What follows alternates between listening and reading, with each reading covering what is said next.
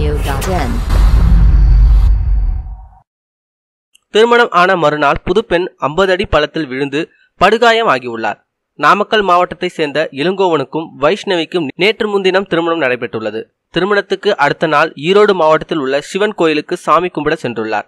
சாமி கும்பிடு முடித்த பின்னர் சிறுநீர் கழிப்பதற்காக அங்கிருந்த ஒதுக்குப்புறமான இடத்துக்கு வைஷ்ணவி சென்றுள்ளார். கடந்த சில நாட்களாக வேதகிரி மலைப்பகுதியில் மழை பெய்ந்தது இதனால் ஆங்காங்கே மணல் சரிவு ஏற்பட்டு பாறைகள் மேல் படிந்து கிடந்தது. மேலும் சரிந்து கிடந்த மண்ணின் ஈரப்பதம் அதிகமாக இருந்தது.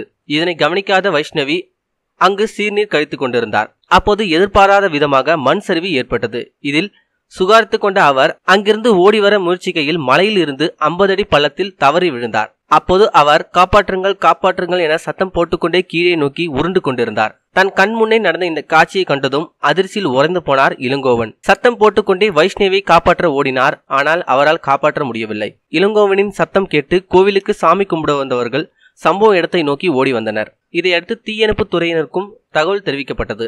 அவர்கள் மூணு மணி நேரம் போராடி வைஷ்ணவியை மீட்டனர். கீழே விழுந்ததில் வைஷ்ணவிக்கு பலத்த காயம் ஏற்பட்டுள்ளது. இதனால் சிகிச்சைக்காக மருத்துவமனையில் அனுமதிக்கப்பட்டுள்ளார். மேலும் இதுபோல செய்திகளுக்கு லைக் மற்றும் சப்ஸ்கிரைப் செய்யவும்.